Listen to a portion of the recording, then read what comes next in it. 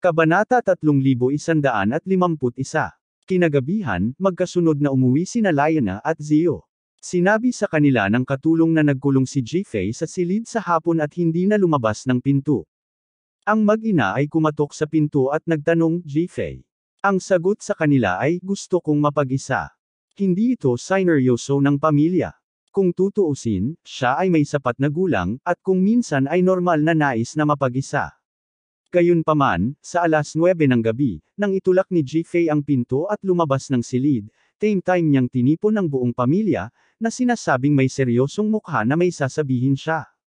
Nang maupo ang pamilya sa sala at gustong marinig kung ano ang dapat niyang ipahayag, kinuha niya ang kanyang mobile phone at nagpadala ng video invitation kay Cheng Feng. Medyo nagalit si Ziyu nang makita siyang nagpapadala ng video kay Lolo, at nagtanong, Kuya, bakit ka makikipag-video call kay Lolo? Seryosong sinabi ni J. Fei, mayroon akong malaking desisyon tungkol sa aking sarili na iaanunsyo, kaya gusto ko rin siyang ipaalam sa parehong oras. Sinabi ni Zio na may itim na mukha, kung gayon ay ayaw mong kunan din kami ng litrato ng nanay ko. Tumango si J. Fei, at umupo ng medyo malayo. Hindi nagtagal, konektado ang video. Nagtanong si Cheng Feng sa dulo ng video, Jifei, paano ka nag-video call sa oras na ito? Mahina hong sinabi ni Jifei, Lolo, mayroon akong malaking desisyon, at kailangan kong sabihin sa iyo. Natarante si Cheng Feng, ngunit tumango siya, at sinabing, mayroon bang malaking desisyon, maaari mong pag-usapan ito. Umupo ng tuwid si Jifei at seryosong nagsabi, ako, si Jifei, pagkatapos ng maingat na pagsasaalang-alang, ay lubos na naniniwala na ang aking ama at lolo ay makasalaan ng tao, kaya nagpa siya akong magsimula sa alas 7 bukas ng isang paglalakbay. Ako ay sumuko hanggang sa templo ng Jokhang upang bayaran ang mga kasalanan ng pamilya Su. Hindi ko alam kung gaano katagal ang biyaheng ito. Kung kaya kung magkautaw hanggang sa Jokhang Temple sa loob ng tatlong taon, babalik ako at ipagpapatuloy ko ang aking ulo, sa loob ng tatlong taon. Tikas na natulala sina Liana at Zio. At si Cheng Feng sa kabilang dulo ng video, sobrang pangit na ng mukha niya.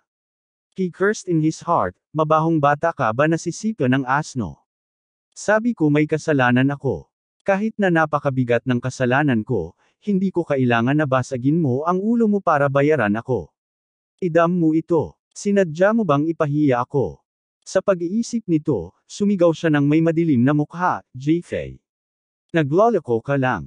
Huwag kalimutan ang iyong pagkakakilanlan. Ikaw ang panganay na anak ng pamilya Su. Bilang panganay na apo ng pamilya Su, hindi ka abala sa iyong pag-aaral at trabaho. Panipi. Huwag gawing pinakamataas na interes ang mga interes ng pamilya Su, ngunit sa halip, gusto mong makisali sa ganitong uri ng bagay na nakakamatay sa utak. Saan mo hahayaang mapunta ang mukha ng Su family? Saan mo hinahayaan ang mukha ko? Hindi natinag si Jifei sa dagandong ni Cheng Feng, at walang pakialam na sinabi, nakapag-desisyon na ako. Walang makakapidyo sa desisyon ko. Aalis ako sa oras ng 7 o'clock bukas ng umaga. Tapos, hihilingin ko sa buong bansa, lahat ng netizens na ay supervise ako. Kabanata 3152 Halos sumabog sa galit si Cheng Feng sa sandaling ito. Ano ang nangyayari? Napakalaki lang ng ginastos ko para bahagyapang patahimikin ang magulo na si Ziyu, pero sinong mag-aakala na pagkatapos ng hindi man lang dalawang araw ng kapayapaan at katahimikan, ang makapal na kilay na si Jifei, ay hindi inaasahang naghimagsik ngayon. Siya ngayon ay ganap na hindi maintindihan, ang kanyang sariling sampain apo ay kumain ng maling uri ng gamot. Noong hindi malinaw ang buhay at pagkamatay ng kanyang mag-ina noon, hindi niya ibinaling ang mukha sa kanya tulad ng ginagawa niya ngayon, ngunit napalunok ng hininga at patuloy na nambobola sa kanyang tabi. Now things are all over, parang biglang gumaling ang batang ito at nagsimulang makipagkompetensya sa kanya. Kapag naisip niya ang taong ito, gagamitin niya ang matibay na paraan ng pagkautaw hanggang sa Jokhang Temple para gumawa ng pagbabayad sala, si Cheng Feng ay kinabahan at pinagpawisan.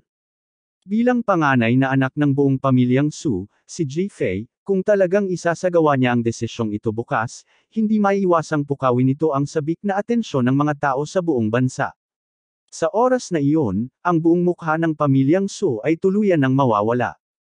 At ang mga masasamang gawain na kanyang ginawa, natatakot siya na baka may lumabas at bumalot muli sa bangkay.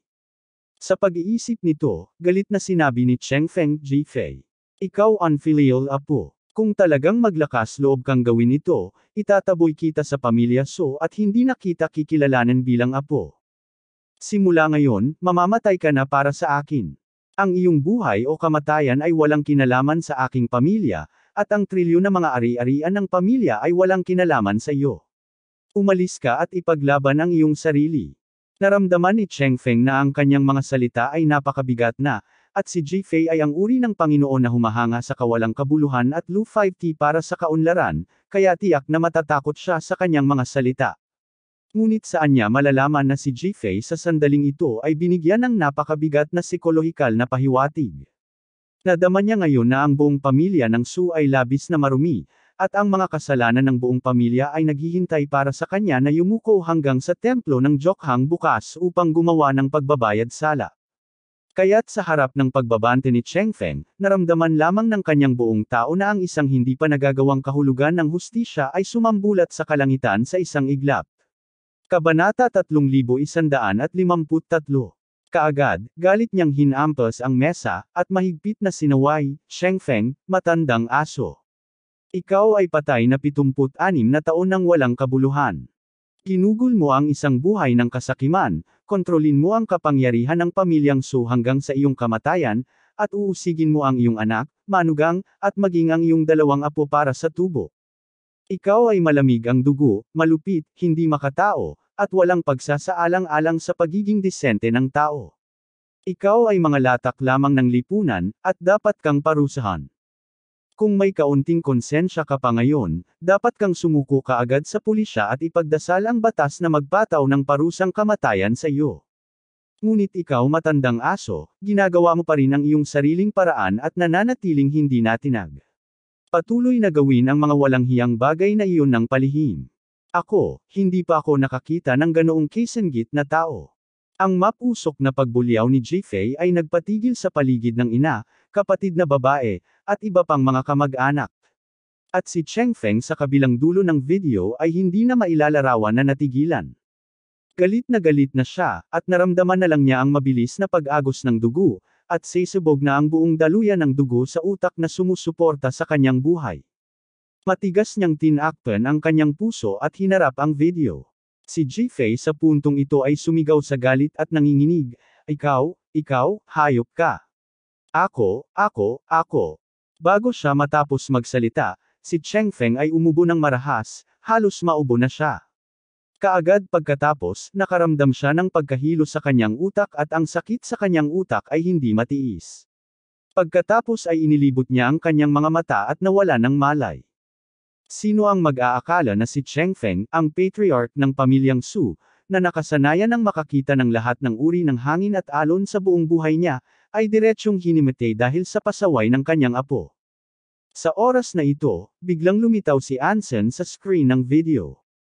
Napagtanto niya na may mali at tumakbo siya nang marinig niyang sinisigawan ni Cheng Feng si Jifei bilang isang hayop. Matapos makitang nahimatay si Cheng Feng, agad niyang inilabas ang walkie-talkie at sumigaw ng may kaba, Guro. Master, ano bang nangyayari sa'yo, Master? Nasaan ang doktor? Papuntahin mo agad ang Dr. Tim, na himatay na ang master. Pagkatapos magsalita, nakita niya ang video ni Jifei sa telepono, at nagmamadaling nagtanong, Guro, ano ang nangyayari sa kanya, Guro?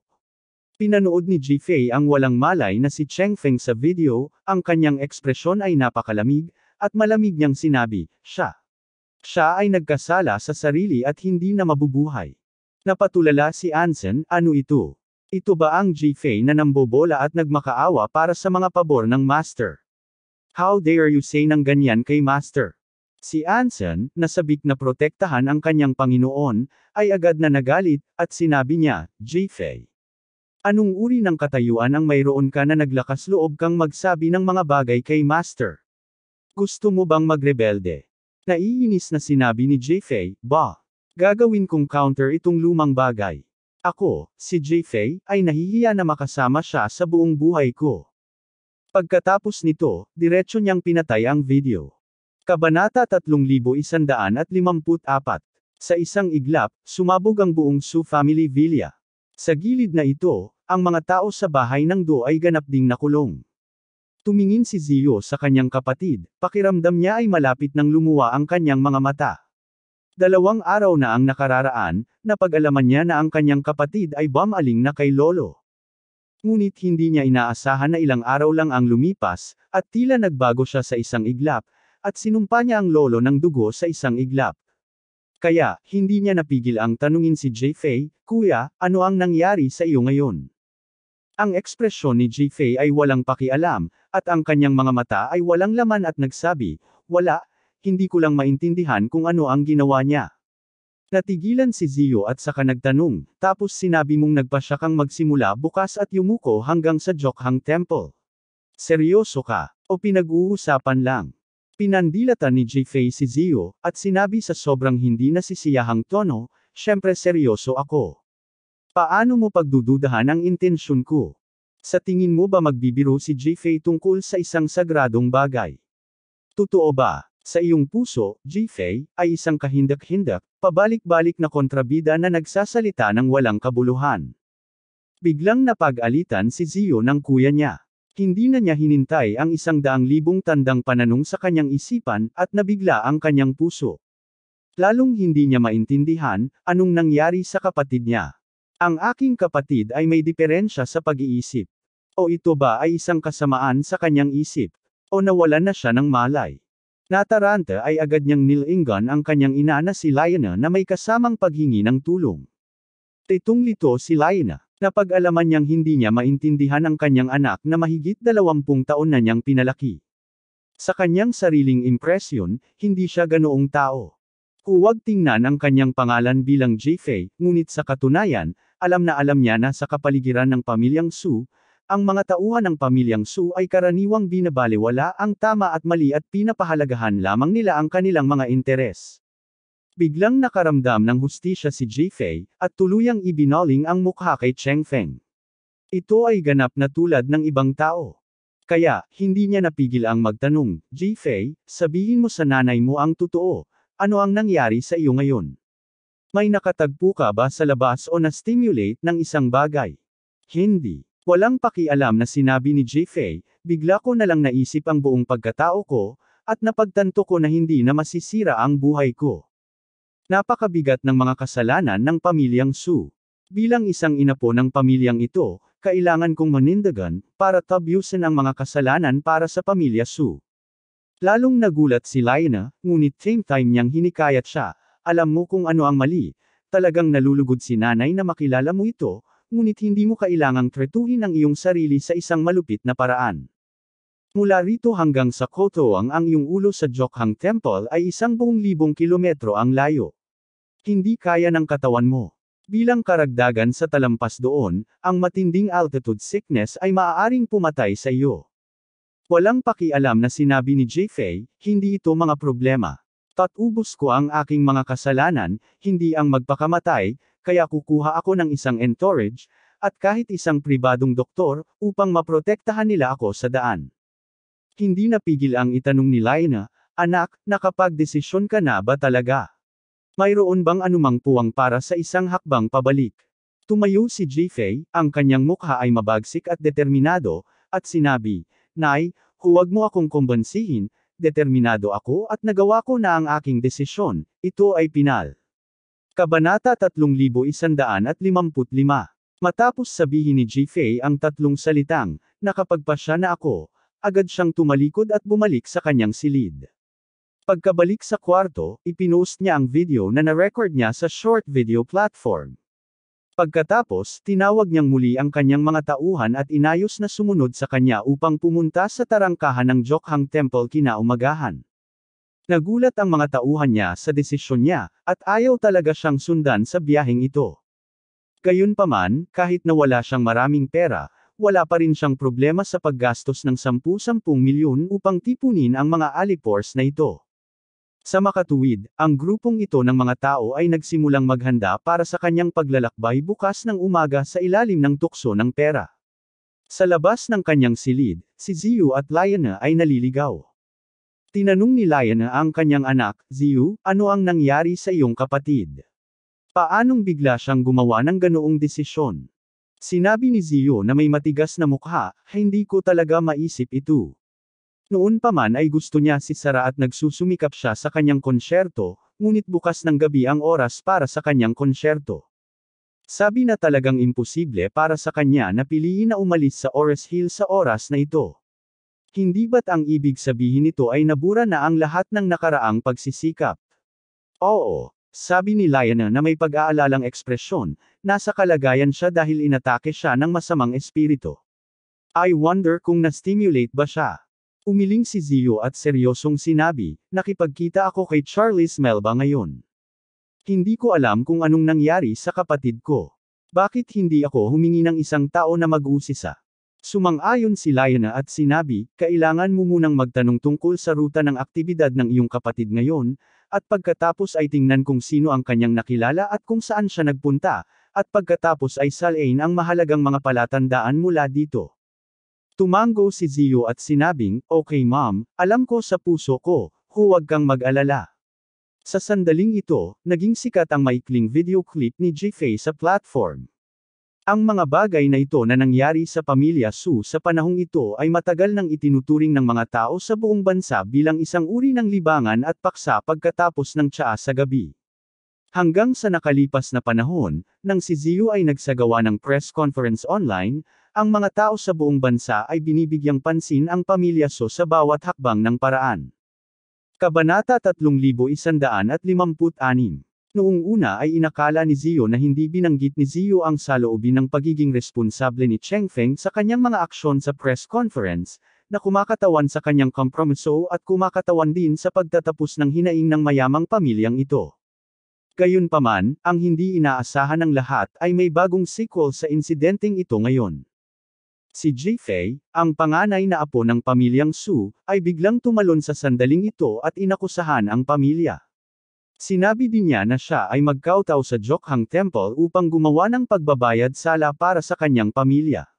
Sa mata ng karamihan ng netizens, ito ay talagang kakaiba at kawili-wili. Sa makatuwid, ang video na ito ay nagdulot ng maraming alon sa isang iglap, at sumugod pa sa mainit na listahan ng paghahanap ng Weibo. Sa sandaling ito, ipinadala si Elder Su sa pinakamagandang ospital sa Susho para sa emerhensyang paggamot dahil sa biglaang pagkawala ng malay. Ang mga anak ng pamilya ay nagmamadali sa ospital habang nakaupo sa kotse at pinapanood ang video ni Jifei na sinisigawan siya. Tinatawag siyang Tridor Dim. Ngunit si Charlie, ang nagpasimula ng lahat ng ito, ay nagmamaneho ng kotse ng maluwag sa oras na ito at inihatid ang kanyang asawa pauwi. Sa sandaling ipinarada niya ang sasakyan, at sabay-sabay na pumasok sa bahay kasama ang kanyang asawa, nag-vibrate ang telepono sa kanyang bulsa. Pagkapasok sa bahay, nang maghugas ng kamay si Mrs., kinuha ni Charlie ang kanyang telepono at sinilip ito. Ito ay isang mensahe sa WeChat. Pag-click niya ulit, galing pala kay Zio. Ang nilalaman ay mababasa, Grace, pumunta ang aking kapatid sa Emgrand Group ngayon, pumunta ba siya sa iyo? Bahagyang kumunat ang noo ni Charlie. Nahanap na siya ni Ziyu. Kabanata 3157.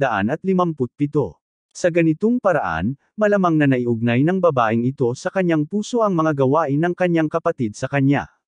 Sa pag-aakalang magkakaroon ng kooperasyon ang dalawang panig sa hinaharap, hindi ito itinago ni Charlie. Lumabas siya ng pinto at pumunta sa bakuran, at sumagot sa kanyang boses, Oo, tumakbo ang kapatid mo sa Emgrand Group ngayon. Sa ibabaw, nakita niya ang vice chairperson, pero nandoon talaga siya para alamin ang aking pagkatao. Nagpadala rin ng boses si Zio para magtanong, tapos bigla siyang naging kung ano siya ngayon, dahil ba sa iyo? Tapat na inamin ni Charlie, oo, inimbestigahan niya ang plate number ng asawa ko. Dahil sa pag-uugaling ito, hindi ako nasisiyahan. Hindi lang iyon, gusto rin niyang hukayin ang tunay kong pagkatao, dahil siya mismo ang dapat na hanapin ito. Para hindi awkward, saka ko lang siya matupad. Nagmamadaling nakiusap si Ziyu, Grace, walang social experience ang kapatid ko. Minsan madali siyang mahilig gumawa ng mali. Kung may nagawa man siyang mali, humihingi ako ng tawad sa kanya. Kung hindi ka pa nakontento, maaari mo siyang talunin at pag-alitan, ngunit hayaan siyang yumuko hanggang sa Jokhang Temple. Ito ay masyadong malupit. Ang kalsadang ito ay halos 4,000 kilometro. Sa kanyang katawan, hindi siya makakarating sa lugar sa loob ng tatlo o apat na taon. Malamig na sinabi ni Charlie, may mga pagkakamaling maaaring gawin, ngunit ang ilang mga pagkakamali ay hindi. Iniabot niya ang kanyang kamay sa akin at sa aking pamilya. Para dito lang, may dahilan ako para patayin siya, at huwag kalimutan, may utang siya sa akin ng buhay, at ang dalawang bagay ay nagdaragdag. Sa una ay wala akong dahilan upang itago siya, ngunit ang dahilan kung bakit ko siya pinakawalan ay upang bigyan ka ng mukha. At saka, pinayagan ko rin siyang kunin ang kanyang entourage at isang doktor. Sa ganitong paraan, makakakain siya at mabubuhay ng maayos sa ibang pagkakataon maliban sa kautaw araw-araw. Ito ay pabor na pabor sa kanya. Ano ang hindi ka nasisiyahan? Tinanong ni Charlie si Ziyu bilang ganti, at biglang hindi niya alam ang isasagot. Sa oras na ito, sinabi muli ni Charlie, bukod dito, kailangan mong malaman ng kaunti. Ang iyong kapatid ay hindi katulad mo o ng iyong ina sa kanyang puso. Para siyang tatay mo. Hindi siya umaasa sa mga damdamin upang tumayo sa linya, ngunit sa kita. Kung gusto mong maging Su family patriarch, isa siyang malaking banta sa iyo. Hinayaan ko silang dalawa na mawala pansamantala sa loob ng ilang taon. Ito ay para protektahan ka sa labas ng lungsod at tulungan kang makasakay sa kabayo. Kung wala sila rito, mas magagamit mo ang iyong mga kakayahan para ipaglaban ang kapangyarihan ng pamilyang Su. Kung mamanahin mo ang pamilya sa loob ng tatlong taon at magkaroon ng malaking kapangyarihan, babalik ang iyong ama at ang iyong kapatid sa oras na iyon, at naruroon sila para sundan ka. Pagkatapos ay bibigyan mo sila ng kaunting pabor mula sa malaking plato ng pamilyang Su. Sapat na para sa kanila na mamuhay ng masasarap na pagkain at magandang pamumuhay, para lang maupo at magpahinga. Ngunit kung iiwan ko silang dalawa dito, magiging kalaban mo lang sila, ang iyong katitisuran, at baka atakihin ka pa nila para kumita. Kung iiwan ko ang kapatid mo, lagi kang nalulula sa kanyang katayuan bilang panganay na anak at apo, at siguradong babalikan ang iyong mga kapatid dahil sa kanilang mga interes sa hinaharap. Ngunit hinayaan ko siyang umalis sa loob ng tatlong taon, at kapag nakoronahan na ang bagong hari, babalik siya muli. Hindi na siya magiging kapatid mo sa oras na iyon, kundi courtier mo. Ang courtier ay nasa harap ng emperador, at gusto niyang sumamba ng tatlong beses at siyam na beses. Kabanata 3158 Matapos marinig ang sagot ni Charlie, napaisip si Zio. Alam niyang tama siya. Sa harap ng upuan ng tagapagmana ng pamilyang Su, lahat ay kaaway. Si tatay at ang kanyang kapatid at mga pinsan ay pawang magkaaway. Kami ng aking kapatid na lalaki, pati na rin ang mga kapatid ng iba pang mga tiyuhin, ay magkaaway din. Kung narito si tatay at kapatid, hindi sila papayag na umupo siya bilang pinuno ng bahay. Sa huli, baka tumalikod silang tatlo sa akin. Gayunpaman, kung maaari kong humawak muna sa posisyon ng patriarch, pagkatapos ay bumalik sila, ang lahat ay naayos na. Mayroong halos isandaan direktang kamag-anak ng pamilyang Su, ngunit iisa lamang ang patriarch. May isang hindi malulutas na relasyon sa pagitan ng iba pang mga miyembro at ng patriarch. Gap. Hindi lang ito bangin, isa rin itong moat. Kung wala ang moat na ito, kahit na ang isang pro-tatay o isang pro-brother ay maaaring hindi mapaglabanan ang tukso ng malalaking benepisyo. Sa pag-iisip nito, naunawaan niya ang pagsusumikap ni Charlie. Bagaman pinarusahan ni Gracie ang aking kapatid, maaaring hindi ito ang hitsura nito, Ngunit ang pangyayaring ito ay talagang nakatulong sa akin na alisin ang mga hadlang sa asensya. At saka, sa estilo ng pag-arte ko, hindi ko kayang labanan ang tatay at kapatid ko dahil sa interes ko. Hiwalay na silang ipinamamahagi ngayon ni Grace. Sa isang banda, nakakatulong ito sa akin na maiwasan ang mga paghihirap na maaari kong harapin sa hinaharap, at sa kabilang banda, pinuprotektahan din niya ang personal na kaligtasan ng aking ama at kapatid na lalaki. Maaaring ilarawan ito bilang pagpatay ng dalawang ibon gamit ang isang bato. Kabanata 3159 Sa puntong ito, sinabi ni Zio kay Charlie, Grace, mabuti ang iyong intensyon, naiintindihan ko. Ang mga nangungunang higanti ng modernong lipunan ay sa katunayan ay walang pinagkaiba sa mga emperador at maharlika ng feudal na lipunan. Ang internal operating mechanism ng bawat pamilya ay eksaktong kapareho ng royal family ng isang feudal dynasty. Sa ganitong espesyal na kapaligiran, hindi edad o seniority ang nagtatakda ng katayuan, kundi titulo at karapatan. Bago piliin kung sino ang prinsipe, ang mga prinsipe ay karaniwang pantay-pantay sa prinsipyo, ngunit may kaunting pagkakaiba dahil sa pagkakaiba sa pagitan ng matatanda at kabataan. Gayunpaman, kahit na ang panganay na anak ay nakatatandang kapatid lamang ng ibang mga prinsipe, ngunit siya ay nasa parehong henerasyon pa rin ng ibang mga prinsipe. Kapag nakita siya ng ibang mga prinsipe, imposibleng sambahin siya ng 39 na beses. Gayunpaman, kapag ang isang tao ay naging isang prinsipe at nagmana ng trono, lahat ng iba pang mga prinsipe, maging ang kanyang nakatatandang kapatid o nakababatang kapatid, ay ituturing siyang mga monarko at ganap na susundin ang kanyang mga utos kapag nakita nila siya. Ito ang pagkakaiba sa pagitan ng mga monarka at mga ministro. Ganun din si Ziyu ngayon.